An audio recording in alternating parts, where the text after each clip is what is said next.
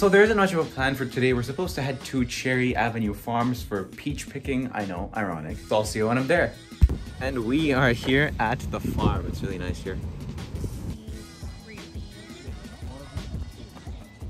These little ones are $8 and then these big ones are 38 bucks.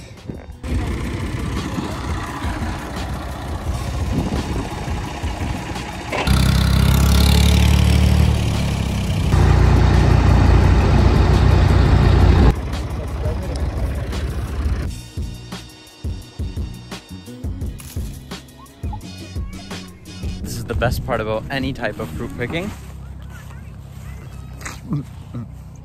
I will not put that. But it's really good. It's really good. Like I've devoured almost half the thing. In Urdu, we call it khatta meetha, which is basically like it's sweet with a tinge of sour in it. This one just out of reach. It's a little squishy like this one. You just grab it and then you twist it. Oh shoot! Oh.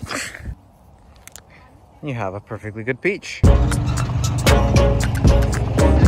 So we have left the peaches side and come to the nectarine side. Nectarines are also just smaller peaches. They look like a peach and plum crossover. They're supposed to be pretty sweet, but can be sour sometimes. We have a water bottle for this, but if you're desi like me,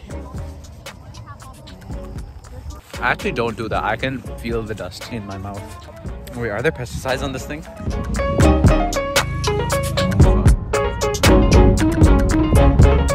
Little longer than a few minutes later. 12 seconds later. The vibe of this place at nighttime is completely different. It literally just rained like an hour ago and I just about missed it. But you can tell it rained. It's wet. It's nice and windy at nighttime. I think about you every night.